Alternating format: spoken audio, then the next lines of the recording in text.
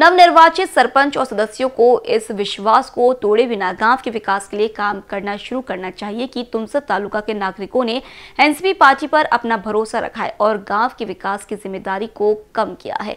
विकास कार्यों के आड़े कोई राजनीति न आने दें।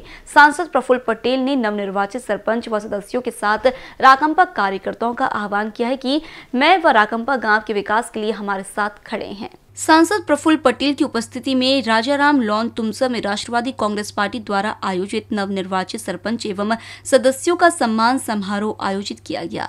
इस अवसर पर सांसद प्रफुल्ल पटेल द्वारा नवनिर्वाचित सरपंच एवं सदस्यों का स्वागत किया गया। इस अवसर पर सांसद प्रफुल्ल पटेल ने आगे कहा, राष्ट्रवादी कांग्रेस पार्टी क्षेत्र के सर्वांगीण विकास के लिए प्रतिबद्ध है।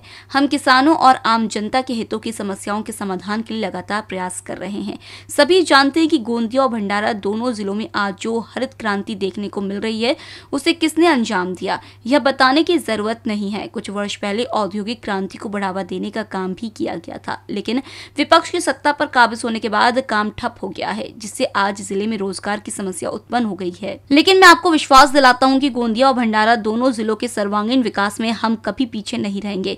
सांसद प्रफुल्ल पटेल ने भी सलाह दी है कि गाँवों को विकास की मुख्य धारा में लाने का कार्य आपके हाथ में इसलिए यदि कोई समस्या आती है तो हम किसी भी स्थिति में पीछे नहीं हटेंगे, चाहे सरपंच हो या सदस्य।